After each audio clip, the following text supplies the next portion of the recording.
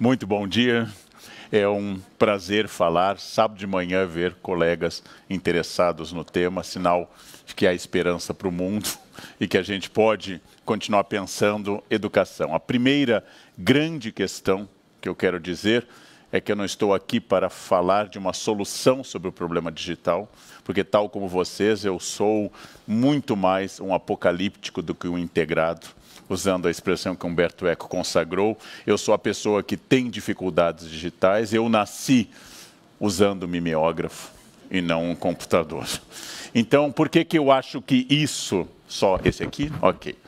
Por que, que eu acho que isso pode ser positivo. Enquanto que os nossos alunos jovens começaram o mundo diluídos nos computadores, nós temos um estranhamento. Esse estranhamento é um processo filosófico, porque vai me levar a pensar que afinal é possível respirar sem o celular, é possível ir ao banheiro sem conexão 4G. E chego ao ponto de achar que é possível passar até 10 minutos, por exemplo, sem responder uma mensagem. É esse estranhamento dado pela minha geração que pode ajudar aqueles que acham que só é possível existir com tecnologia, que essa junção possa ser muito boa. Então, ao invés de você, colega, ter medo da tecnologia, eu recomendo que você aceite o papel de um sábio ser mais antigo, que foi apresentado a uma técnica muito libertadora, e usando a expressão Rodrigo usou tanto aqui, inspiradora, mas que sabe que a essência não está nem na tecnologia, nem na internet. A essência continua estando na filosofia da educação.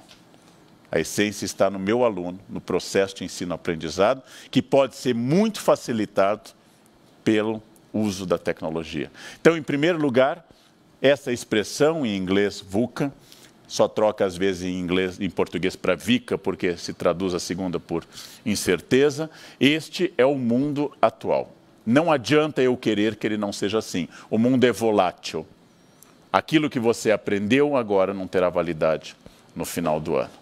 Ao espaço de uma geração, 40 anos na Bíblia, 25 anos na demografia mais recente, passa a ser de poucos meses. É um mundo incerto, complexo e ambíguo. Por isso que, mais do que nunca, nós temos que ter consciência disso. Que aquilo que para você é um problema, você, educador como eu, pode não ser um problema para os alunos. Este olhar tem que ser muito sensível. Este mundo, por esse acróstico VUC, é a nossa característica. Mas não mudou uma coisa: conhecimento é poder. A velha frase, que é uma síntese das ideias de Francis Bacon, lá no século XVI para o XVII, conhecimento é poder, continua sendo muito importante. E essa é uma questão que, desde o romance escrito em 1931, publicado em 32, Admirável Mundo Novo, que se passa na Londres do século 26, em que a humanidade, segundo Huxley, está dividida em alfa, beta, gama, delta. Para ser feliz é preciso tomar uma droga, soma. Que todas as pessoas são treinadas para serem alguma coisa e são treinadas e são dispostas geneticamente para isso. Este é o mundo que eu vivo. A frase que Shakespeare consagrou no ato 5 da peça Tempestade, que a Miranda diz que aquilo que ela está descobrindo é um admirável mundo novo. Todo mundo novo é admirável, mas nem tudo que é admirável é lícito ou é bom. Ou se eu tenho que fazer essa seleção. Seu papel educador, meu papel de professor, é olhar para esse admirável mundo novo e ajudar a distinguir que nem tudo que é novo é bom, nem tudo que é velho é ruim, mas que o novo não é um inimigo. O novo é sempre a água indispensável, sem a qual não há vida, mas que pode afogar o seu usuário. Então, o meu papel nisso será evitar que meus alunos não se afoguem numa rede que eles acham impossível de resistir. Então, é um papel muito importante. Que maravilha que maravilha preparar uma aula que você pode procurar para sua apresentação a imagem exata. Eu que usei slides, eu que usei lâmina de reto projetor ou que passei com a Barça aberta pelos alunos. Jovens anotem a palavra Barça, depois o tio explica. Era uma enciclopédia. Eu que passei pelas salas mostrando um quadro Leonardo da Vinci, passando por todas as fileiras de um quinto ou de um, uma sexta série na época, sexto ano, sétimo ano hoje, e eu passei por isso mostrando. Agora eu posso pegar um detalhe da Anunciação de Leonardo na Galeria dele Uffizi em Firenze, posso mostrar para eles porque há um erro de perspectiva na perna de Maria, posso mostrar para ele, posso mostrar o uso da têmpera, posso mostrar o uso da base de madeira, posso mostrar restaurações do quadro, é uma maravilha, etc. E mais, posso fazer telas interativas. Tudo isso eu aprendi. E se eu, que tenho diploma de datilografia, aprendi, vocês, professores mais jovens, têm mais capacidade ainda de aprender. Mas não é só apenas olhar para o admirável mundo novo, é a capacidade de entender que no século XXI o conhecimento mudou seu patamar. Não se trata de dar um dado novo digital, trata-se de questionar, vamos usar uma palavra difícil essa manhã, epistemologia. Trata-se de questionar o acesso ao conhecimento, a validação e o seu processo. Exemplo. Durante séculos, a escola foi transmissão de conhecimento. Transmissão para reforçar um modelo social. Transmissão para reforçar uma estruturação social. O modelo escolar sentado em fileiras, desenvolvido dominantemente na Prússia do século XVIII para XIX, para formar operários e soldados. Contrariando a tradição greco-medieval de alunos em círculo ou caminhando, esse modelo em fileiras dominou até o século XX. Esse modelo de fileira se juntou a uma concepção de currículo europeia totalizante em que o aluno aprendia para repassar. Isso está totalmente ultrapassado. A ideia de identificação e memória como base de avaliação. A ideia de transmissão e assimilação de conteúdo, em detrimento de curiosidade, aprender a fazer perguntas, questionar, desmontar sistemas explicativos, fazer o aluno perguntar, produzir o estranhamento que a filosofia fala que é a base do conhecimento. O estranhamento, a desnaturalização, esses são três novos sentidos essenciais, é um tripé essencial para trabalhar com a tecnologia. Perguntar mais do que responder. Perguntar é uma habilidade Aliás, a filosofia se esforça muito mais por ensinar a fazer boas perguntas do que por ensinar a dar boas respostas. Por quê? Porque o hábito de perguntar é essencial. Perguntar e questionar. Aprender a aprender. Aprender a ir atrás. Não se deter no livro didático, na fala do professor. Ir atrás. Jamais fazer um trabalho com o título O Feudalismo jamais fazer um trabalho a planícies e planaltos, uma divisão necessária, jamais fazer algo assim, jamais ensinar algo que seja devolutiva daquilo que foi dado. Como eu já recomendei uma vez em um curso de treinamento, se eu quero falar de feudalismo, eu levarei meus alunos a visitar um agronegócio, ou um acampamento, ou uma unidade de produção familiar. E ao ver como se organiza o valor da terra, a produção de riqueza e a concepção de agricultura, eu vou então comparar com a do feudalismo e o trabalho será sobre isso. Isso não está pronto. Isso é uma chave de leitura da realidade. Aprender a aprender. E a sala de aula é quase sempre a morte da curiosidade. Porque, em primeiro lugar, eu, professor, faço perguntas que eu sei a resposta. Alguém sabe Quais são as letras que caracterizam a acentuação das paroxítonas? Eu pergunto. Aí ninguém me responde, nunca. Aí eu digo, ah, L, N, R, X, U, e PS. As paroxítonas terminadas em L, N, R, X, U, e PS levam acento. Não? não tenho curiosidade com isso. Isso eu sei há séculos. Eles não têm curiosidade com a minha pergunta. Mas eu posso perguntar, por que, que uma proparoxítona é acentuada em português? porque afinal ela é chamada antigamente de esdrúxula, ou seja, uma palavra tão fora do padrão que tem que ser marcada por um acento.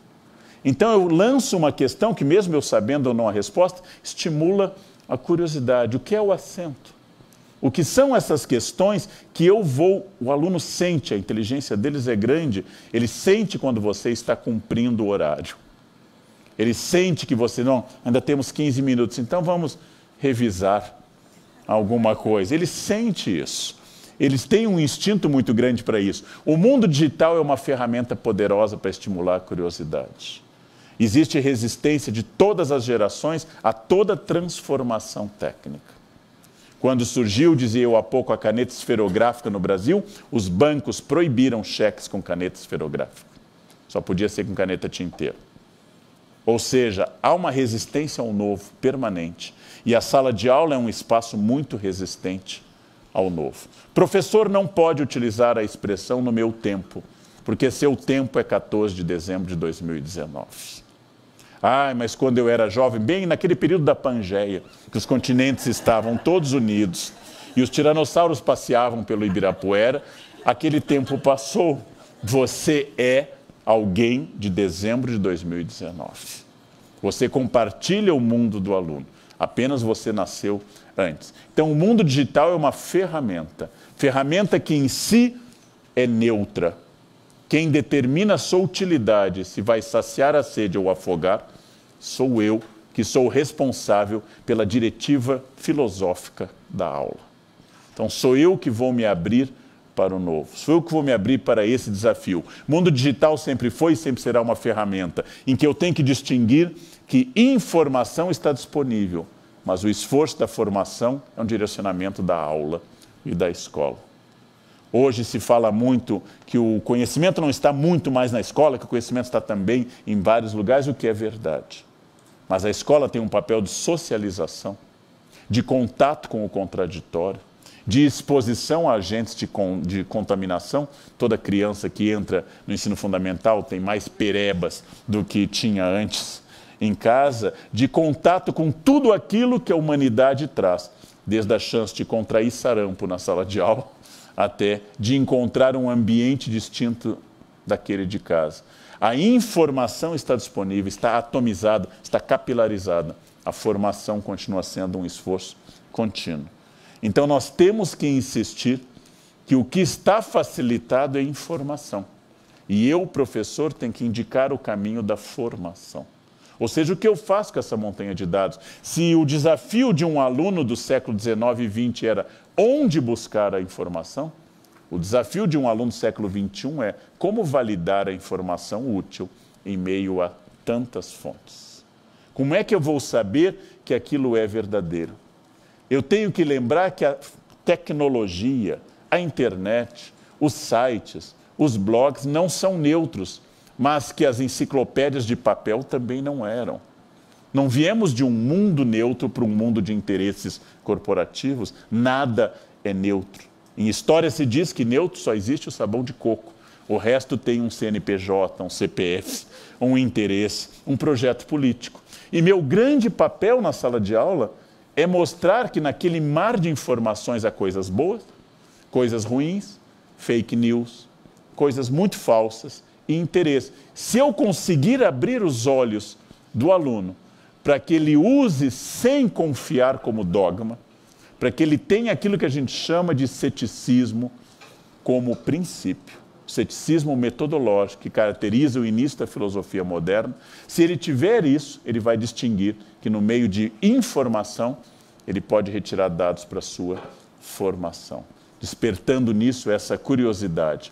Existe um novo ser cérebro, fazendo um jogo de palavras, porque Alguns acusam dessa geração, como um autor chamado Carr, que escreveu um livro Superficiais, ou Os Rasos, The Shallows, e ele fala que são todos superficiais. Não.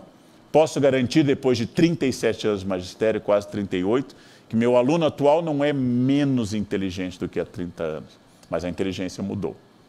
Ele é mais voltado a imagens, ele é mais voltado a um sistema de múltiplos pontos. Ele tem mais dificuldade com o parágrafo do Padre Vieira e tem menos dificuldade com a análise de uma imagem. Ele é mais rápido e menos propenso ao foco. Logo, eu tenho que trabalhar com essa realidade. Se nossos professores reclamavam na minha infância que depois de uma hora a gente perdia a atenção, hoje dar aula em um sexto ano por mais de cinco minutos, com ele focado em um parágrafo, tem que ajoelhar e rezar a São Piaget pela graça concedida a vocês. E essa é a realidade. Logo, se o magistério sempre foi difícil, hoje a dificuldade dele envolve até uma atitude física. Eu preciso de muita energia. Eu preciso de muita energia física. Porque aquela ideia de alunos sentados receptivos ao conhecimento, ela está sendo questionada há muito tempo. Questionada politicamente por projetos como Summerhill na Inglaterra. Questionadas ideologicamente por críticas como Pink Floyd The Wall questionada de todas as formas pela denúncia de uma escola adestradora, mas agora questionada sobre a validade de eu sentar um jovem de 12 a 14, 16 anos, horas, vendo mitocôndria, capitanias hereditárias e sequências de conteúdos para os quais ele não vê conexão. É importante aprender biologia, é fundamental. É fundamental aprender história. Como eu produzo diante desse novo ser cérebro, que é mais dinâmico fisicamente, que é mais instável no seu foco. Esse é o grande desafio. Esse é um grande desafio da escola. E para piorar, nenhum de nós foi preparado para isso. Nenhum de nós recebeu instruções para isso. Então, se vocês querem saber o que é importante quando eu falo de tecnologia, é que hoje, aquilo que não nos disseram na licenciatura, quando eu estudei a 5692, ou a 7044, ou as diretrizes e bases que agora mudaram, eles não nos disseram, agora eu posso assistir transmitindo em casa, ou aqui eu posso assistir e questionar a minha aula no meu computador ou no meu celular. Isso é a água que abastece, isso é tecnologia positiva. Enquanto que há 50 anos isso aqui estaria restrito a essas poucas e seletas pessoas, hoje isso vai estar disponível para muita gente. Então, por que não começar a aprender a gravar vídeos de reforço para os meus alunos? Por que não aproveitar que a internet continua sendo uma base mais barata do que a impressão de um papel ou do que a publicação de um texto? e que é mais, e como tal poderia ser, mais democrática, mais acessível. E que não trabalhar com esse novo ser cérebro e olhar para esse admirável mundo novo no que ele pode gerar de positivo? Há necessidade de um novo profissional da educação. Há necessidade de um profissional de educação que discuta não apenas as questões tradicionais, mas que entenda que existe um desafio muito grande e que eu vou ter que me repensar como educador. Sobre questões tradicionais que continuam, disciplina, avaliação, taxonomia dos objetivos escolares, ou seja, identificar, relacionar, comparar, analisar, criticar, aplicar, etc. Aquilo que a gente aprendeu na faculdade. Um profissional que vai continuar com conhecimento, especialmente no ensino fundamental, para identificar o que é dislalia, o que é dislexia, como identificar o espectro autista na sala de aula, eu continuo tendo essa necessidade, mas necessidades inteiramente novas, para as quais eu não fui preparado sobre como lidar com o conhecimento. E pior ou melhor, eu tendo que aprender junto porque naquilo que é importante no mundo atual, pela primeira vez, os mais velhos não dominam. Durante milhões de anos que a espécie humana existe, durante a grande virada cognitiva anterior à nossa experiência histórica, mas especialmente nos últimos 5 mil anos de uso de escrita, os mais velhos eram os detentores do conhecimento. As crianças eram chamadas de adolescentes estúpidos na Idade Média. As crianças eram insignificantes e hoje alguém de 12 anos sabe mais que você, licenciado, mestre ou doutor em educação, naquilo que importa: o uso de cabos, qual a tecnologia, quando a apresentação é PPTX, PPT, tudo que para você você tem que PPTX, você tem que pensar um pouquinho, eles nascem geneticamente com essa informação. Um jovem põe a mão sobre o computador e sente a vibração kármica do computador e já sabe usá-lo. Você reclama quando troca de celular. No outro eu achava tudo. Nesse eu não consigo me ajustar. Isso é sinal de idade. Isso é sinal de idade. Não adianta eu querer parecer plugado, atualizado. Você nunca será como eu. Não adianta.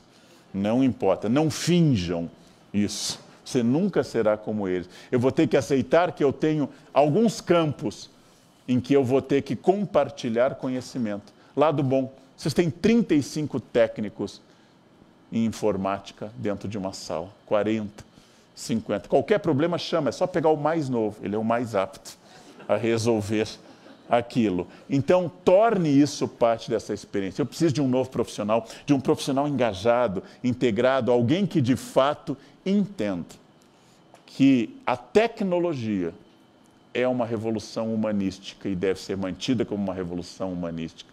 Que eu nunca devo olhar para site, para blog, para fonte, para grupos de debate como uma técnica em si, mas como uma estrada, como uma ponte. Educar é construir pontes no mundo que todo mundo quer construir muros.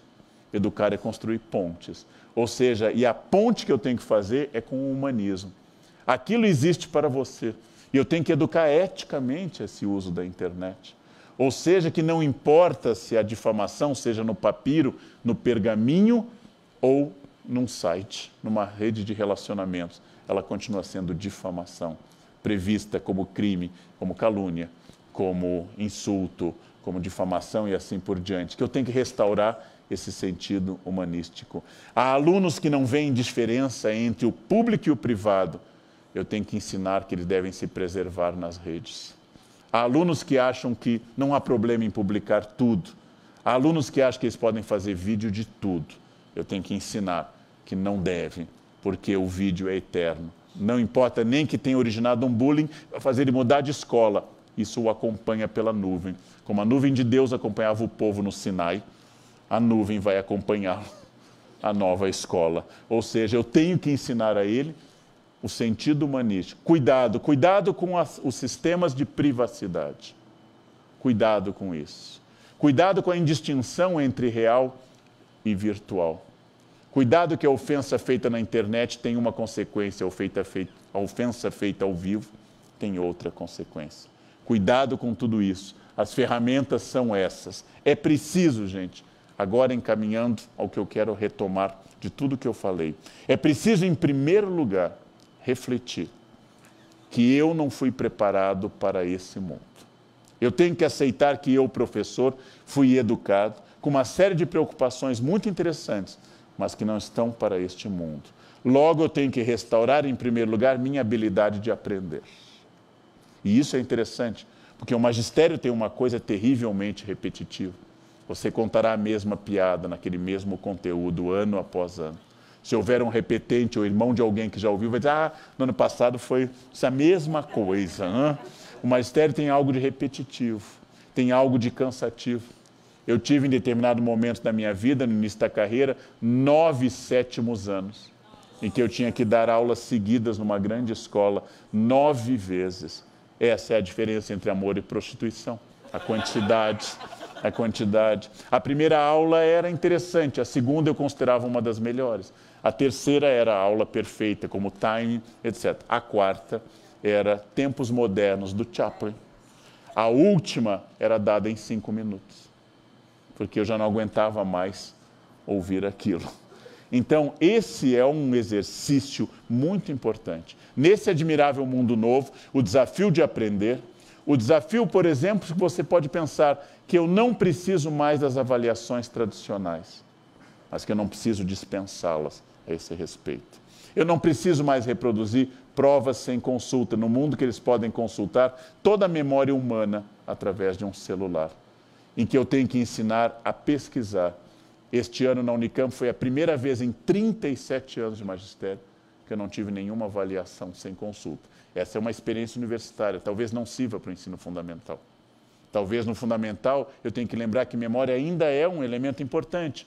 A ausência dela chama-se Alzheimer ainda é um elemento cognitivo, mas nunca um ensino baseado na memória, nunca um ensino baseado na reprodução, nunca um ensino baseado nas devolutivas simples daquilo. Trabalhar com a ideia de uma prova operatória, como Paulo Ronca defende em texto conhecido de muita gente. Trabalhar com a ideia de uma avaliação que eu possa fazer de fato sobre aquilo que eu quero. Questionar saber que não existe uma fórmula, que não há um caminho estabelecido, que esse caminho vai ser feito com turma a turma. Entender o caráter aleatório da cabeça humana, entender que a aula dada pela manhã não é igual à aula dada à tarde, que a aula dada em novembro é diferente da aula dada em março. E que a aula dada após uma aula de educação física é completamente diferente do que a aula dada antes da aula de educação física a aula após o intervalo, entender essas variantes e fazer da internet não aquilo que a minha geração descobriu, quando havia uma sala de vídeo nas escolas.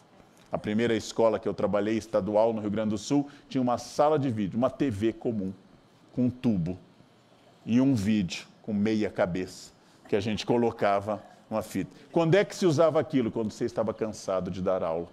Então você levava o vento, levou e botava lá para ficar metade do bimestre assistindo. Você não aguentava mais, então você ilustrava. Jamais a tecnologia pode ser utilizada na forma de um vídeo ilustrativo.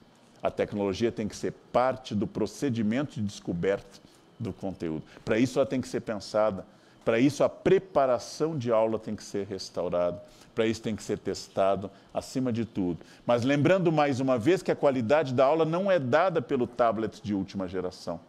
Qualidade da aula é dada pela filosofia educacional, pela disposição dos educadores de pensar em um modelo adaptado a uma realidade que muda. Aquilo que muda sempre, suporte técnico. Aquilo que não muda, jamais, conhecimento é poder. O sentido do humanismo, a convivência em um Estado democrático de direito, a capacidade de conviver com o contraditório, estimulada em sala de aula, o combate ao bullying, o combate à dificuldade das pessoas de conviverem com a diferença. E aprendi isso a duras penas, que o simples ato de fazer uma chamada pode ser da parte professora a autorização do bullying, quando você encontra aqueles nomes criativos que estão aumentando, com aqueles pais que esqueceram o significado de palavras como Pedro, João, Ana ou Carolina, e começaram a fazer nomes por aglutinação, justa posição, cada vez mais criativos, e ao ler aquele nome, o simples levantar da sua sobrancelha já vai dizer: Eu noto que seu nome é estranho, está autorizado o bullying contra vocês.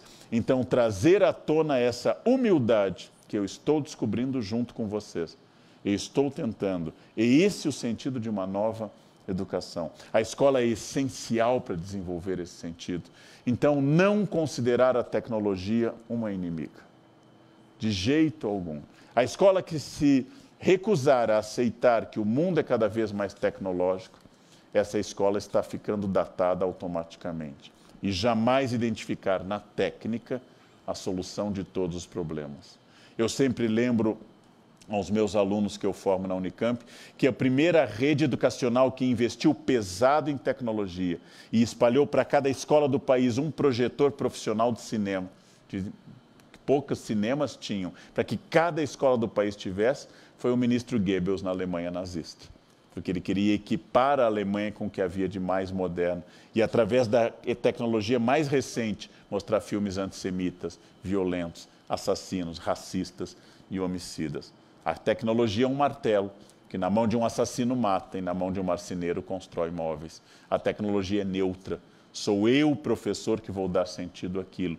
Questionando, eu vou trabalhar com aquilo que está na televisão, com aquilo que está no cinema, com as metáforas disponíveis, com as imagens disponíveis e fazer esse aluno pensar. O que você está vendo é uma opção política, ideológica, traduzida através de um suporte tecnológico. Não existe um filme ruim para a sala de aula. Todos os filmes podem ser utilizados dentro da adequação da faixa etária e daquilo que é previsto para isso. Mas eu vou fazer essas pessoas descobrirem coisas. E eu serei a pessoa que junto está debatendo a constituição desse conhecimento. Isso é essencial. Tudo isso vai fazer que esse admirável mundo novo continue causando admiração, como causou a Miranda, filha do Duque Próspero, naquela ilha que Shakespeare imaginou e de onde saiu a frase que Huxley publica. Tudo isso vai fazer que o mundo deixe de ser dividido entre alfa, beta, gama e delta. E eu entenda que não há uma disposição genética, que os valores continuam centrais e que o meu humanismo vai combater o racismo, a misoginia, a homofobia, a demofobia e todos os preconceitos que atrapalham esse desenvolvimento. A escola continua sendo um farol de cidadania, a escola continua sendo uma construção. Então, acima de tudo, a variedade. Esse é o momento de analisar um vídeo. Esse é o momento de escrever sobre esse vídeo. Este é o momento de debater com alguém.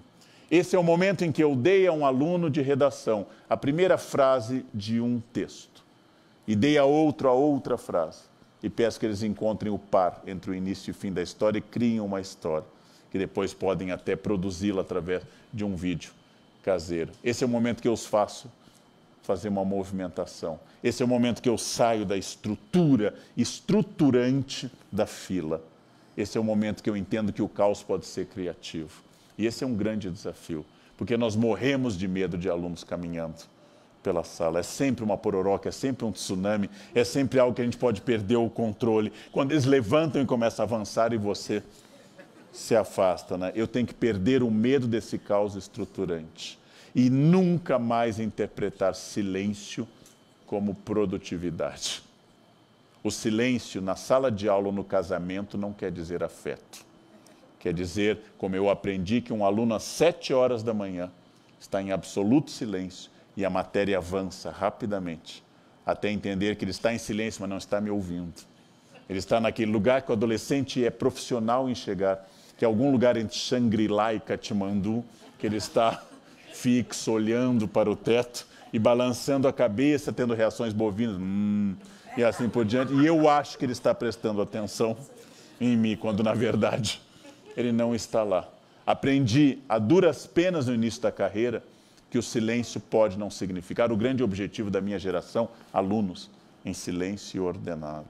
Ou seja, é isso que eu vou produzir, cada vez mais ser um professor inspirador, que aceita errar, que aceita buscar, porque é melhor hoje que você erre buscando do que a sete repetindo um modelo que já não fazia sentido há 20 anos. Hoje está completamente superado. Então, aproveitando de cada experiência, perguntando ao colega como ele se desenvolve fazendo projetos inter e intradisciplinares, conseguindo valorizar um conhecimento que, segundo a nossa atual concepção educacional, seja menos compartimentado, seja menos fixo, que ele entenda um mundo muito mais amplo, muito mais questionador e que aprenda a fazer essas boas perguntas. Boas perguntas que não precisam ter uma resposta, um professor de física meu do então segundo grau, hoje ensino médio, fazia na prova de termologia a seguinte questão: o inferno é exotérmico ou endotérmico? Bom, não há uma posição científica sobre o inferno, mas para poder responder a isso eu teria que saber sobre geração de calor e manutenção de energia e discutir o conceito físico de entropia. Ou seja, se eu quero ensinar que o acento gráfico em português vai cair sobre a sílaba tônica, eu recomendo em um livro que pegue o mais alto da sala e que ele leve um acento de uma privada. E que quando alguém pronuncie, cada um pronuncia uma sílaba, um diz paroxítono, o mais alto bate o acento sanitário. E a partir disso eu sei, o mais forte é o acento, é a sílaba tônica. Para eles pararem de colocar acento em melância ou econômia, que eles vivem colocando esse acento. Tem riscos? Tem. Aquele menino mais alto pode ser chamado a partir daí de privadão ou privado. Os pais podem ir à escola, podem dizer somos da igreja que combate a privada como obra de Satanás. Pode ser, tudo tem riscos. Mas é melhor correr esse risco dentro do lícito e do ético do que, por exemplo, repetir aquilo que não dá problema, mas não dá resultado. Se o nosso objetivo é o pacto de mediocridade, ou seja, eu finjo que dou aula, eles fingem que aprendem, eu dou uma nota média alta para todo mundo e assim a gente vai levando até o final e no conselho de classe fica olhando para os colegas, se o nosso objetivo esse é fácil. Porque o magistério é a função onde é possível se matar trabalhando ou não fazer nada. É uma função muito ambígua. Por quê? Porque quando o engenheiro erra, a ponte cai. Ele é processado. Quando o médico erra, ele é processado imediatamente com a morte do paciente. Quando eu erro, meu aluno vai à presidência da República e ninguém pergunta quem deu aula para ser feliz. Quem deu aula para essa capivara? Não. Ele vai longe. Esse é o lado bom. Ninguém nos processa pelo resultado final. Ninguém processa pelo fato de que alguém está lá no Senado da República e não sabe que o pronome oblíquo não pode ser sujeito de uma frase. Que quem ensinou essa pessoa? Não. Esse é o lado bom. Mas o lado ruim é que a gente não vê o resultado imediato. O lado ruim, como diz meu colega da Unicamp, Rubem Alves, é que nós plantamos carvalhos e não eucaliptos, nem bambus, nem grama. A gente não vê crescer. Por isso que aqueles que aqui são jovens e começaram há pouco, fica a minha recomendação. É muito bom, depois de 20 anos, encontrar aquele aluno que na sua sala parecia possuído por Lúcifer e hoje é um pai de família. E aqui cabe a única praga que você, professor, pode lançar, que é lista e ética. Deseja ao seu aluno de sexto ano que ele um dia vire pai de família ou mãe de família. É a única praga que é lícita fazer. Desejo-lhe cinco, seis filhos saudáveis, com pulmão pleno, um pouquíssimo sono, porque essa praga você pode saber. Professores, Eu não tenho nenhuma resposta sobre tecnologia. Eu não tenho nenhuma coisa pronta sobre tecnologia. Eu estou aprendendo. Eu tenho dificuldades com o computador. Eu tenho dificuldades com a navegação. Pergunto coisas óbvias à minha equipe que me dá resposta. Não, mas isso é só acessar por tal lugar. Eu disse, claro, claro, por que eu não pensei nisso antes? Eu não tenho nenhum, nenhuma fórmula para isso. Mas eu acho extraordinário que uma aula hoje possa ter ao mesmo tempo ali, se eu estou dando aula sobre romantismo, um trecho da nona sinfonia de Beethoven, um trecho do filme Bem Amado Imortal, ou qualquer outra, ou qualquer outra peça sobre Beethoven, e ao mesmo tempo uma imagem de Beethoven, e aí que eu possa comparar por que aquilo foi feito naquela época, por que aquilo foi produzido naquela época, e possa instigá-los a comparar Beethoven com música contemporânea, e possa instigá-los a pensar, e que ele saia, e que eu tenha essa paciência para recuperar o sentido humanístico de formação, que eu tenho à minha disposição como nenhuma geração teve, uma capacidade enorme de reunir fontes para fazê-lo pensar com a internet, e não ilustrar, e não dar uma imagem, e não fazer como os livros didáticos antigamente colocavam quadros a esmos, colocavam esquemas a esmo, sem preocupação de fato com a formação, que eu entenda a tecnologia como parte constitutiva do meu saber, nunca perdendo de foco que meu objetivo não é navegar em 5G, que o meu objetivo é ensinar que o ser humano é insubstituível, que a vida é o valor maior, que todo preconceito é um defeito e que a democracia é aquilo que nós perseguimos. Então, mesmo que haja hierarquia na sala de aula, mesmo que exista o fato de que eu tenho poderes que meu aluno não tem, que eu seja uma hierarquia e que eu incorpore uma hierarquia a serviço do meu aluno. Ou seja, por que, que eu posso pedir para você sentar? Porque eu sou o professor responsável pelo ensino-aprendizado. E que esse aluno tem que ser cada vez mais participativo, que cada aula seja única. E lembrando que nós ensinamos pelo currículo, mas ensinamos, acima de tudo, pelo currículo oculto. Então, meu aluno esquecerá quais foram as grandes origens da guerra, da guerra do Peloponeso. Mas como eu me comportei em sala de aula, como eu o tratei, com qual respeito eu tratei o conhecimento, qual era a minha curiosidade, isso fica para sempre. O currículo oculto, a sua postura em sala de aula é essencial. Que cada aula seja única que cada aula seja um processo extraordinário. É claro que nem todas as aulas serão tão boas. Todo mundo sabe que eu posso dar uma aula muito criativa e a seguinte vai ser leitura do livro didático, porque não é possível. Não é possível, dando 40 aulas por semana, que cada aula dessa seja uma acrobacia e que eu saia de lá como se eu fosse um membro do Circo de Soleil. Não é possível. Não é possível fisicamente. Então, algumas aulas serão de leitura de texto. Outras aulas serão de atividades em grupo.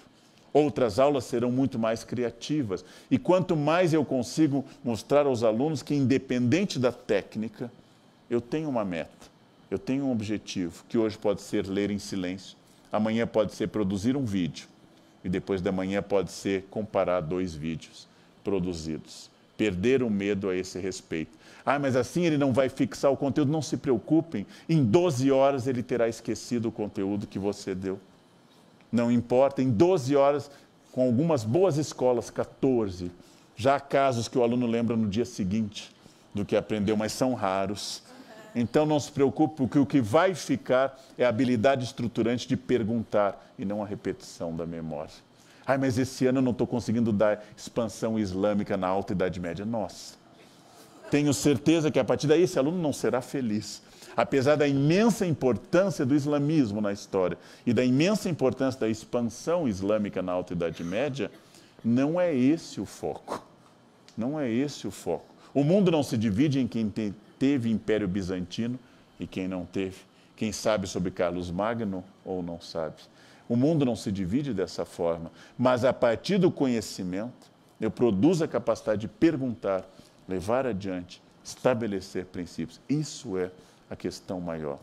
Recomendei a uma turma de professores de fundamental que, às vezes, se for o caso, existindo clima e havendo o compartilhamento de algum sistema de fé, que antes de entrar em sala, eles deem as mãos, rezem o Salmo 23, o Senhor é meu pastor, nada me faltará. Ainda que eu entre no sexto ano, eu nada temerei, pus meu asilo Não, diz, ou então preferem cair um mil à minha direita, dez mil à minha esquerda, eu nada temerei. Se acham mais adequado, do fundo do abismo, clamo a vós, Senhor. ou seja, é um processo difícil. E talvez seja o conselho que os alcoólicos anônimos nos dão. Só hoje. Eu vou entrar em sala de aula não vou gritar com ninguém. Só hoje eu vou responder a seguinte questão, aquela que eu digo no livro Conversas com Jovem Professor. Em uma sala de aula, tem que haver ao menos um adulto. Seria bom que fosse o professor. E se você consegue ser adulto durante 45 minutos com o sexto ano, você é quase um Deus. Você é quase um ser divino e iluminado, um Buda no nirvana pedagógico. 45 minutos, se conseguir ensinar, usei um vídeo, apliquei, fiz alguma coisa, parabéns, você está lá.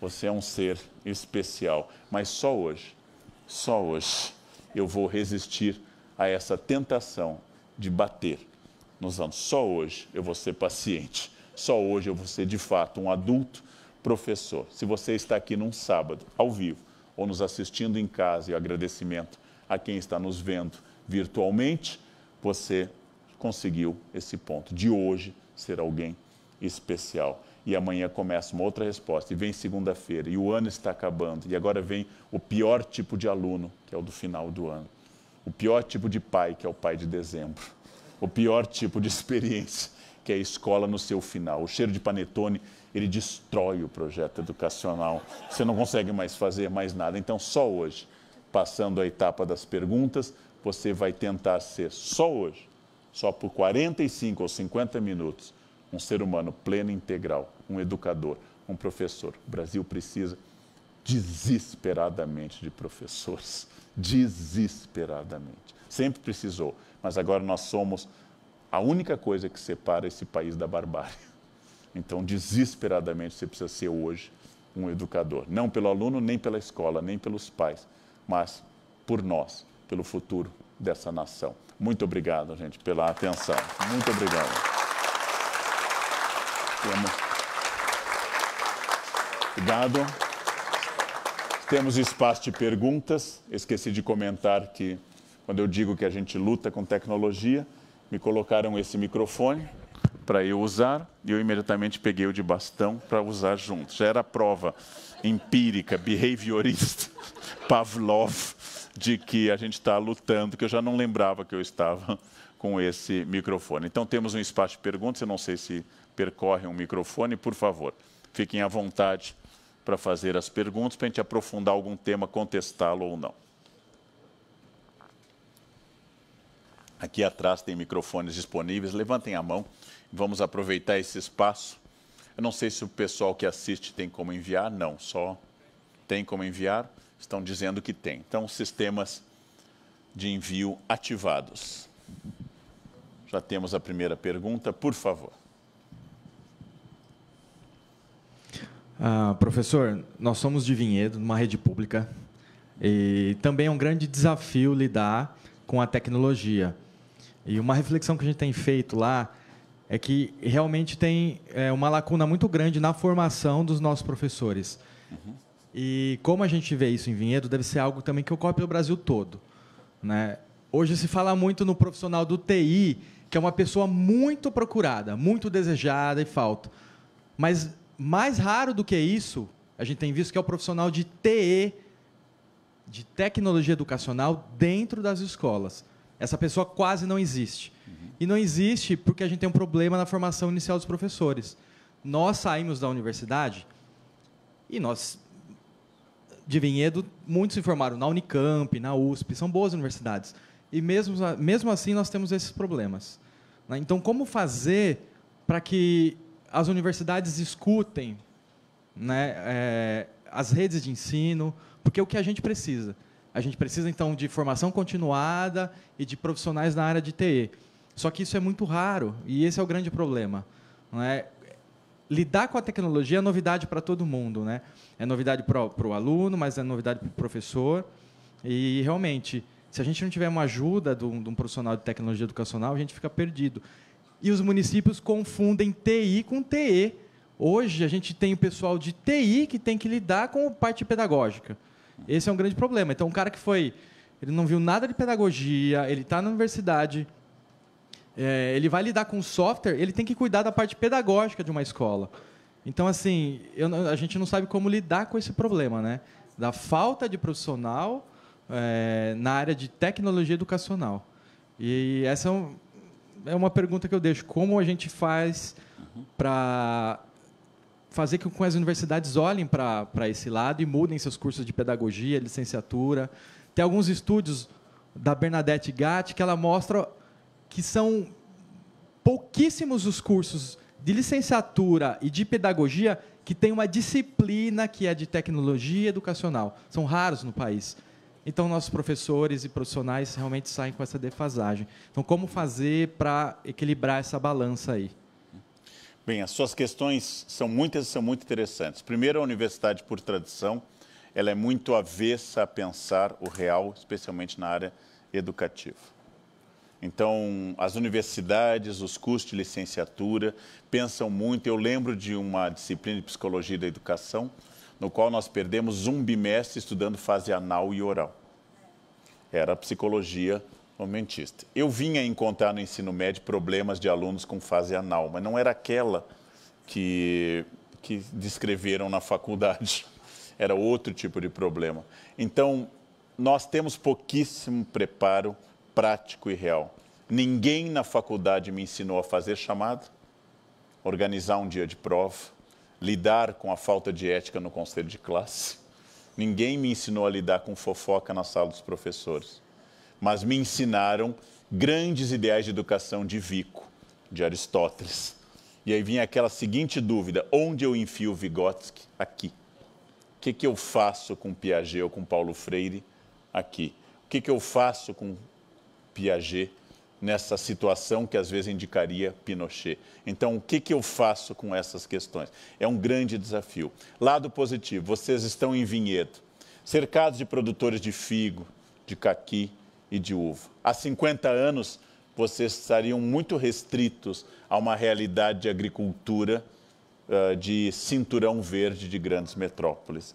Hoje, graças à internet, tudo o que acontece no Mar de Aral que secou, pode ser debatido em vinhedo. Então, se o mar de Aral está secando ou secou, eu posso trazer essa realidade de vídeos, etc., para isso. E uma reflexão que envolva a personalidade do ano, Greta, o mar de Aral e a realidade da agricultura em vinhedo pode ser muito interessante. Isso a internet possibilitou. Ou seja, nós conseguimos uma equalização maior e uma integração global. Se o aluno de vinhedo não dominar questões globais, ele estará condenado ao localismo.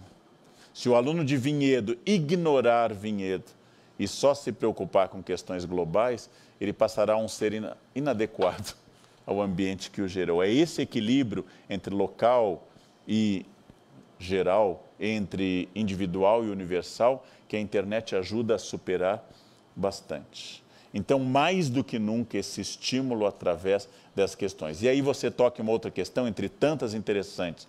Hoje, o mercado determina que os bons profissionais são os que cruzam áreas de conhecimento. Exemplo, fazer medicina é excelente, é uma profissão de alto valor agregado social e de utilidade indiscutível.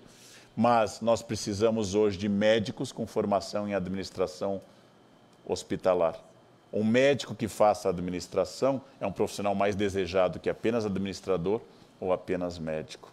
Então, um professor que faça informática é uma joia rara e muito procurado pelo mercado. Então, a partir desses desafios, eu tenho que entender que a inteligência é o futuro. As atividades mecânicas e repetitivas serão substituídas por robôs e algoritmos. Já estão sendo. Logo, não tem futuro para quem tem profissão, ainda que honrada, de ascensorista, não tem futuro para o ascensorista. O ascensorista é um fenômeno de prédio público em Brasília. Ele vai desaparecer no mundo porque esta função é mais barata com computadores, com elevadores inteligentes. Mas que a pessoa que faz o programa inteligente, essa tem mais futuro. Então a força física ou até o capital estão perdendo espaço para uma questão mais importante ainda, que é a questão da inteligência. Por isso que a sala de aula tem que responder não ao adestramento, não ao, ao comportamento Pavlov que a gente estuda de apito e estímulo, mas ao pensamento, à inteligência. E isso no Brasil, país de desigualdades sociais extraordinárias, isso é a revolução educacional. A grande revolução do pensamento. E eu acredito bastante nisso. Por isso, quais são os aspectos ruins? Sabemos. Quais são os aspectos bons? Vinhedo vai estar integrado ao mundo. Meu aluno vai estar tendo acesso à mesma informação que um aluno em um grande centro metropolitano possa ter. E, acima de tudo, ele vai conseguir se conectar com o geral. Isso é muito bom. Então, aproveitar isso e jamais jogar a criança junto com a água suja do banho que é um pouquinho a postura que em história nós chamaríamos de ludita. Os luditas eram trabalhadores ingleses do século XVIII que, vendo na máquina a causa do seu desemprego, invadiam fábricas e quebravam as máquinas. Nós temos até hoje muitos professores luditas que ainda acreditam que a formação é feita pela cópia, pela a motricidade fina do aluno calígrafo, que enche cadernos copiando. Ou daquele aluno que me irrita, porque você escreve, escreve no quadro, quando você está exausto e termina, e diz, terminei junto com o senhor, me irrita tanto. Essa pessoa não dá um minuto, aquele infeliz, para eu sentar, para respirar. O que, que eu faço agora? Eu dizer, morra. O que, que você faz? Dá um minuto para eu respirar. Não.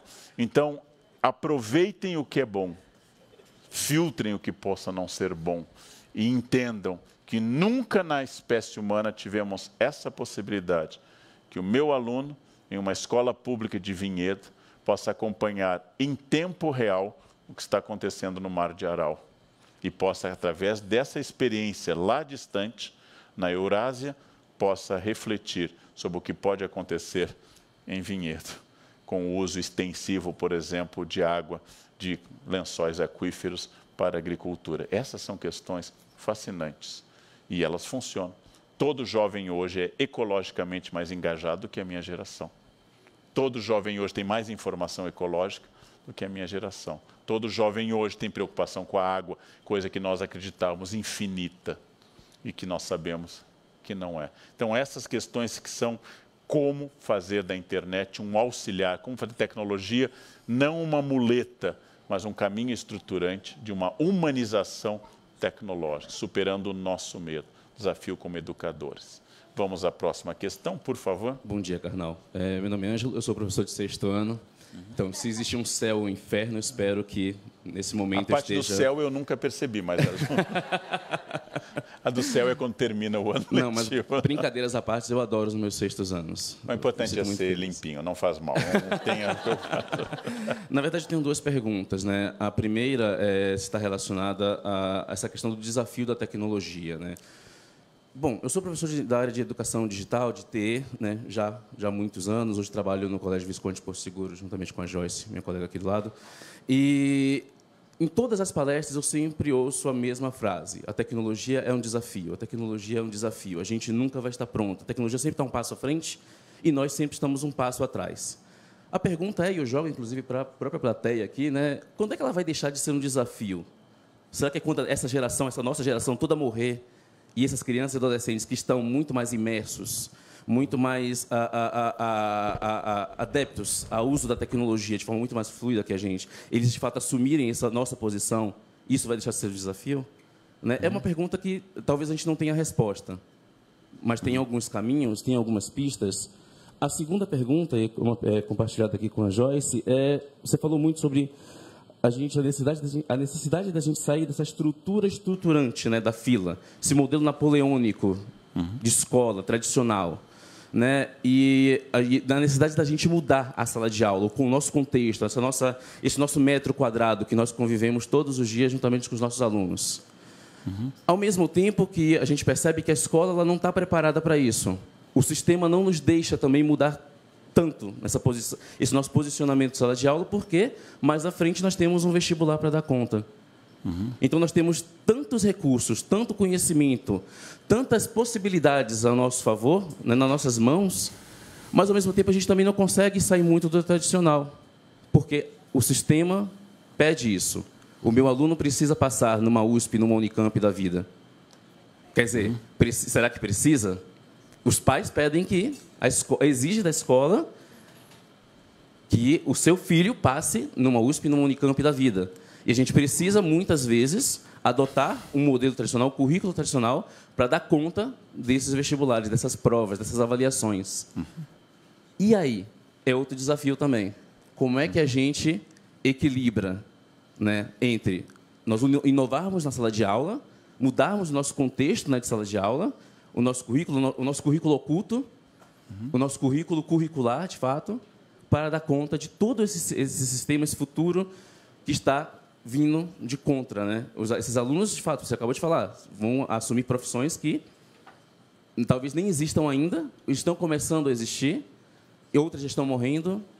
Uhum. E aí, é, é um dilema para todos nós, né? Obrigado. Então, eh, as questões, de novo, são muito interessantes, tanto a anterior quanto essas propostas.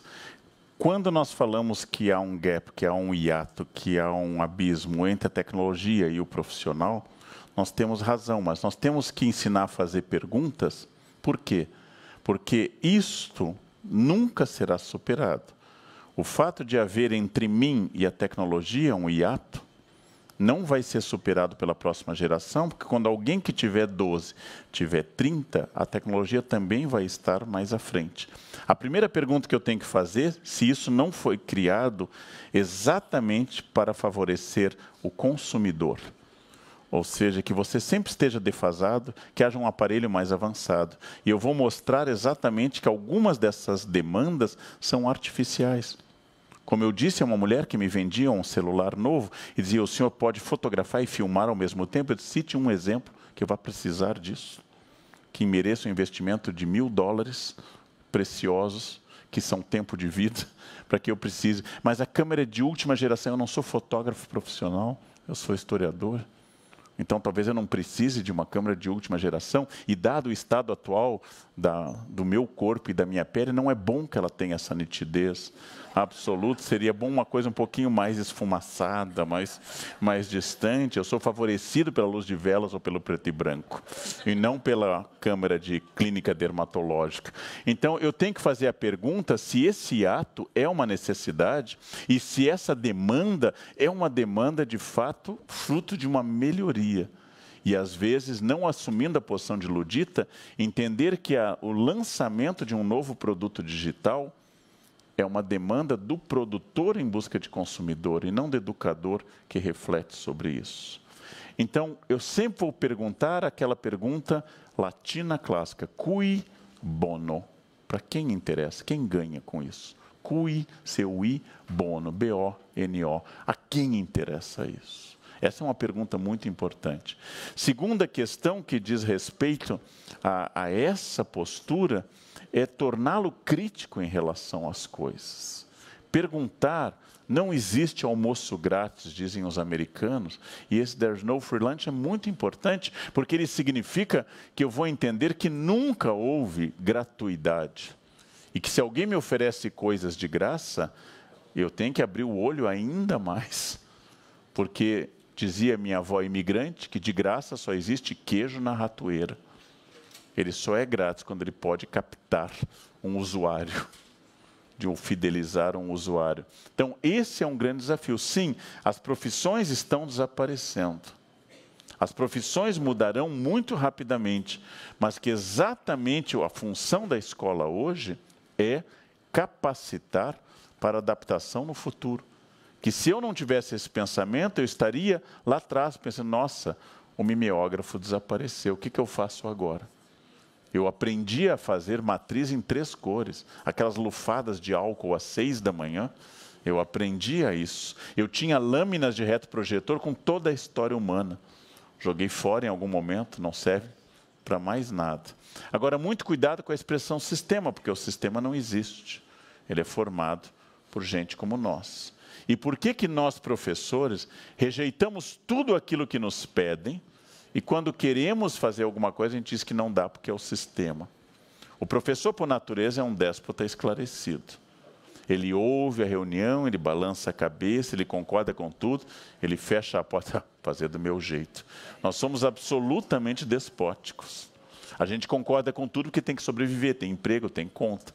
Concordamos com tudo, sorrimos para os coordenadores, aceitamos, dizemos que estamos aqui para isso mesmo, e aí fechamos a porta e fazemos do nosso jeito. Em primeiro lugar, vestibular da USP e da Unicamp, o da Unicamp que eu conheço bem por ser uma universidade, é cada vez mais próximo de uma proposta original do Enem, quando o Enem surgiu e deixou de ser conteudista.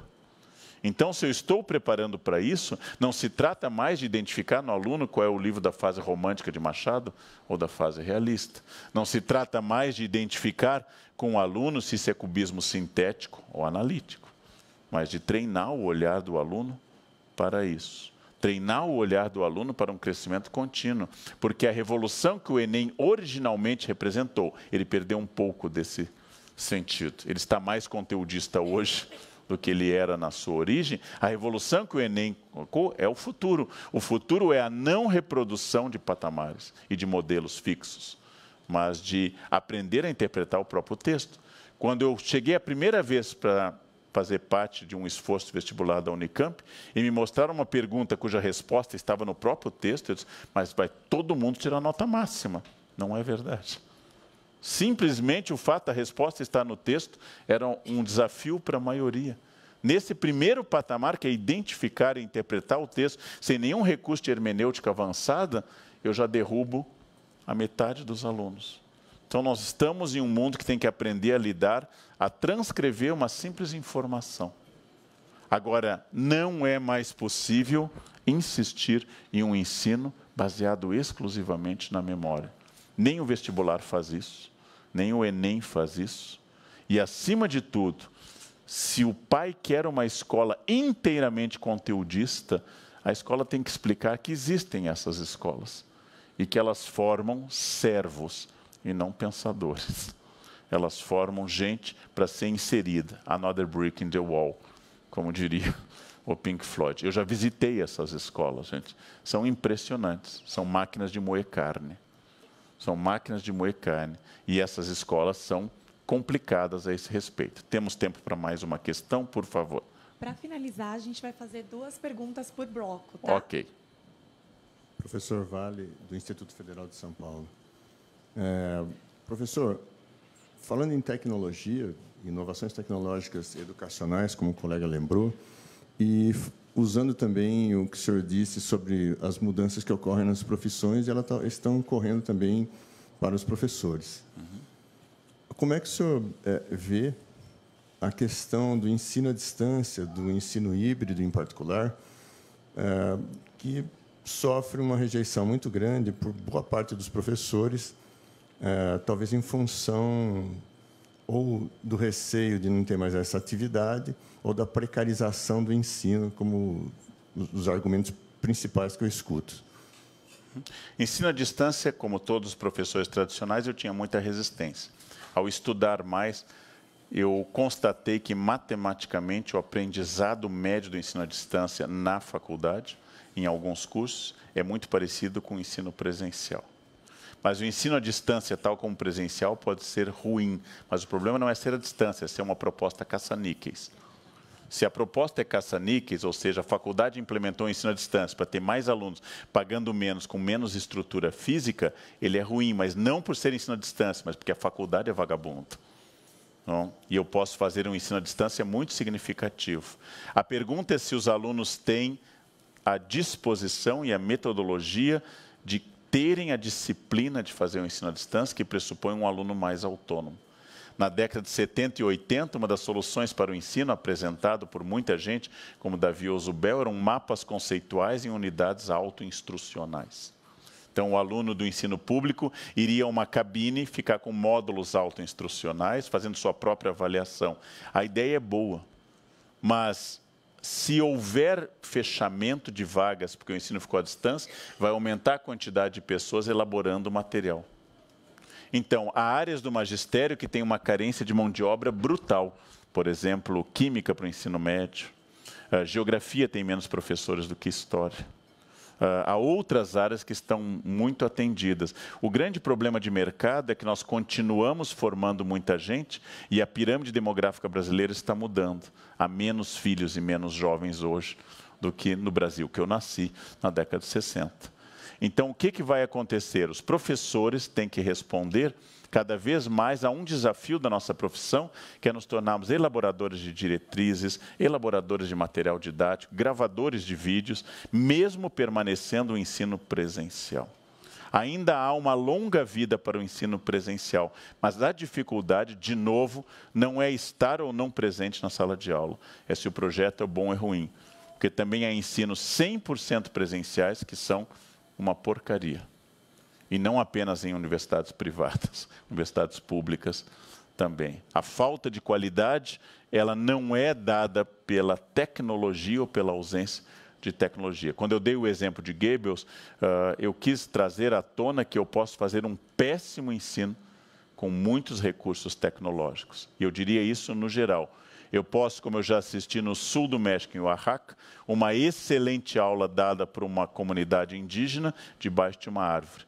E eu já vi porcarias com lousas eletrônicas de 10 mil dólares, que o professor escreve e vai aparecendo no tablet dos alunos, uma aula completamente fascista, completamente ruim, de enquadramento do pensamento e não de questionamento. Então, eu não ponho nenhuma fé mágica no aparelho, mas eu ponho muita fé na filosofia educacional, que pode ser à distância ou presencial. Ainda acho que um bom ensino presencial traz o desafio da sociabilidade, indispensável no ensino médio fundamental e talvez menos dispensável lá em cima. Mas me preocupa que hoje a maioria dos cursos de educação, a maioria matemática no Brasil, seja à distância e não se admita curso de medicina à distância. O que, que significa isso? Que eu posso formar um professor à distância, mas não um médico. Os médicos têm razão a desconfiança deles é saudável. A desconfiança deles é saudável. Mas é porque nós consideramos que a pedagogia é mais barata, é mais vulgar e para a gente mais simples do que a medicina. Enquanto esse pensamento dominar, o problema não está no ensino à distância ou no ensino presencial, mas está no valor que eu dou ao professor. Se eu achar que um médico tem que ser formado de um jeito e um professor tem que ser formado de qualquer jeito, o problema está não na distância, mas na concepção do ensino superior. Infelizmente, os cursos de educação não atraem dominantemente os melhores alunos que cursaram o ensino médio. Quer dizer, não é o melhor aluno, ai, meu sonho é fazer pedagogia. Não é isso. Não é, o que é uma dor profunda para mim, porque deveria ser assim. Assim é na Finlândia um dos nossos modelos educacionais. Infelizmente, o que funciona na Finlândia, funciona na Finlândia. Não adianta pegar um modelo finlandês e colocar aqui. Né? O que precisa para dar certo não é apenas a sala de aula, mas uma sociedade inteira que valorize a educação. Temos tempo para mais uma questão? Por favor, por então, gentileza. É, o que não é uma questão, é mais um partilhar, uma reflexão. Por favor. E, e eu trabalho na rede pública aqui de São Paulo e sou, fui aluna da rede pública e estou há 30 anos como profissional da rede pública. E para a gente essa questão da tecnologia é uma coisa que nos preocupa, não nos preocupa muito, porque a gente não tem tecnologia na rede pública, né? Eu trabalho numa escola do ensino integral e a gente tem um projetor multimídia em todas as salas. A gente tem alguns notebooks, mas muitas vezes falta o cabo que faz a conexão, então não dá nem para usar a tecnologia. Então, o que eu acho que faz a diferença na, no que eu observo não é o uso da tecnologia, porque a gente pode muito bem fazer um trabalho maravilhoso com a tecnologia que está nas mãos do aluno, que é o celular. Porque muitas vezes acho que a, a gente tem que se preocupar em trabalhar com o aluno e ajudá-lo, dar o apoio na seleção dos conteúdos que ele tem, o que é bom para a sua formação. Isso a gente pode fazer com o celular, né? Ele acessa lá e tem um, um monte de informação e o que, que ele vai selecionar do que vai ser bom para ele como pessoa. Então, eu acho que para o universo da escola pública, que é onde eu estou, que é o único que eu posso dizer, é mais importante do professor trabalhar com esse lado humanístico mesmo, né? Instigar sempre a curiosidade, as perguntas e buscar as informações e selecionar as informações que lhe vão ajudar a ser uma pessoa feliz, né? Que atenda às suas necessidades. Então, era só isso que eu queria partilhar. Perfeito. Em primeiro lugar, está numa escola pública e tem um projetor de multimídia em cada sala, é extraordinário, porque nem todas as privadas têm. A Unicamp tem há pouco tempo, nas salas de aula, um projetor de multimídia. Faltou o cabo, pode-se invocar a padroeira da educação tecnológica, Santa Ifigênia, e ir lá. e, com as bênçãos de Santa Ifigênia, conseguir um cabo, se for possível. Ou ter como profissional de educação meu próprio cabo portátil, que eu levo em todas as salas quando isso é possível. É obrigação do Estado, sem dúvida, mas a gente aprendeu que se a gente esperar o Estado, esperar o ministro da Educação entrar nas suas salas e vir aqui resolver o seu problema, talvez isso não ocorra imediatamente. Então, são questões muito importantes. Mas eu concordo inteiramente a questão humanística. Exemplo, alunos peguem o seu celular se estiver conectado. Alunos, vejam um sistema de busca. Entendam que a palavra que você coloca não vai lhe trazer de forma neutra a resposta, mas que aparecerá em primeiro lugar quem pagou mais para estar em primeiro lugar. There's no free lunch. Entenda que não é um sistema neutro, que aquilo vai aparecer de acordo com uma inserção do mercado. Alunos entendam que se você colocar a palavra em inglês, vai aparecer muito mais que em português, que o inglês é ferramenta indispensável. Eu não gosto dos Estados Unidos, morra, continua sendo indispensável. Ou seja, que é fundamental o domínio do inglês, a língua do mundo. É pouco provável que o português domine o planeta nos próximos anos. É mais provável que o inglês continue. Então, já vai ter uma aula de ideologia e seleção de conteúdos no sistema de busca e para parar de naturalizar o sistema de buscas. Ele vai entender que há uma enormidade de coisas e que o uso de palavras-chave vai identificar mais tal ou tal coisa, ou quem pagou para estar em primeiro lugar. Essa é uma grande aula. Só com o sistema de buscas. Essa já é uma grande aula. Ou seja, que essas coisas são muito importantes. Segundo, vamos analisar o conceito de intimidade e vamos entender por que é que eu não devo postar tudo. Não porque isso seja chato, mas porque isso é perigoso. Que eu tenho que entender que a minha vida pública e a minha vida privada continuam existindo. Então, são aulas de humanismo, aulas de sentido de dignidade, sentido de vida humana, que são fundamentais. E essa aula pode ser mais importante do que identificar uma relação clara entre o assassinato do arquiduque Francisco Ferdinando, a 28 de junho de 1914, e o início da Grande Guerra. Claro que esse conteúdo é importante. A noção de Grande Guerra é muito importante, mas eu vou ter que entender que até para acessar esse conteúdo, eu vou ter que selecionar. Eu vou ter que saber que selecionaram para mim e que isso não é neutro. E vou reinstaurar, empoderar meu aluno na capacidade de um ser pensante, mais autônomo, e que entende que a tecnologia é a sua ferramenta e não a sua maneira de existir. A noção de ferramenta é fundamental, que continua sendo o foco no humano, no aluno, na formação, no senso crítico. Independente se ele for de uma família, de um rito de candomblé, pentecostal, católica ou ateia, independente se ele for pobre ou rico, independente se ele torcer pelo time A ou B, ou seguir tal e tal político, ele continua sendo um ser humano, absolutamente autônomo, com livre-arbítrio, digno, e que ele tem que aprender isso, inclusive navegando, da sua dignidade, e que nada é neutro, tudo está conectado, e que a pesquisa que ele fez para uma passagem de ônibus para Mongaguá vai vincular o seu IP à pesquisa. Ele vai continuar recebendo coisas de Mongaguá até a segunda vinda de Jesus, porque aquilo está associado ao seu IP, e que isso não é neutro, isso faz parte de uma estratégia. E que não é ruim em si, é apenas uma questão de mercado. Ele é que tem que responder a isso. Tudo está posto na mesa do mundo. Dar aula é ensinar quais são os pratos adequados para a faixa etária, para a fome dele e para o futuro dele. Então, tudo está colocado na mesa do mundo. E o professor não é mais um cozinheiro, mas é alguém que ajuda a provar e a distinguir veneno de alimento. A internet está cheia de alimento, rico, saudável, nutritivo e cheia de veneno. Cheia, como tudo que é da espécie humana, como toda a biblioteca antiga também. Esse é um grande desafio. E eu gosto de viver nessa época, gosto de viver nessa época que tem esse desafio. Acho mais dinâmico do que aquilo que eu vivi como aluno.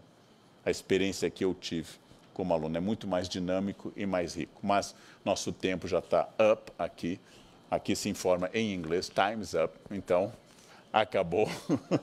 se o professor não souber inglês, ele não sabe que o tempo acabou aqui. Mas a cor vermelha também é uma mensagem, quer dizer, corta corta que passou. Quem quiser, na minha rede não vai continuar, mas SaferNet, quem estiver acompanhando, vai continuar a atividade uh, doravante. Gente, muito obrigado, parabéns para quem está em casa nos assistindo, parabéns para quem veio aqui uh, querendo aprender, debater, ouvir e saber mais. Parabéns. Enquanto isso continuar, eu acho que nós temos esperança na educação. Parabéns, colegas, pela manhã de hoje. Muito obrigado pela atenção. Obrigado. Obrigado.